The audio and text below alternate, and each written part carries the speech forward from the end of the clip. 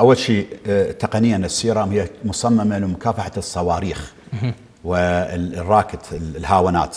وأول ما نصبوها نصبوها في Camp Victory عام 2000 2006 تقريبا في Camp Victory اللي هو المطار. الآن هي جامعة الجامعة الأمريكية. نعم. في تلك المنطقة وفشلت لأنه آه، يعني في منطقة سكنية، المنطقة السكنية يكون دائما فشل، ال C-RAM مفتوحة إلى قواعد مفتوحة، نجحت في في قاعدة عين الأسد، نجحت في قاعدة التقدم في ذلك الوقت ولم تنجح في Camp Victory مع العلم. Camp Victory أيضا شبه المعزول. يعني عندك حي الجهاد منا وباقي الأحياء.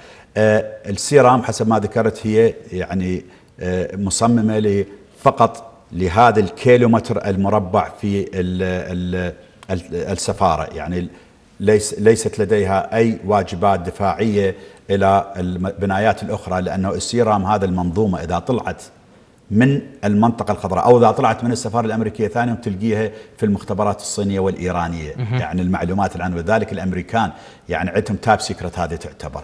أما قدراتها على إسقاط الطائرات الكواب كابتر اللي ذكرتها من الصعب لأنه السيرام أول شيء عمودي الضرب عمودي يكون ويكون عالي. فالطائرات هاي يعني حسب ما ذكرنا إنه كانت أنا لست رجل يعني تقني بهذه الأمور ولكن نعم. نعرف عنها لأنه شفناها. آه، ما تقدر عليها لأنه آه، تقنية تحتاج هاي الطائرات الصغيرة تقنية جديدة. السعودية عجزت. آه، نجران وجيزان وخميس مشيط عجزت.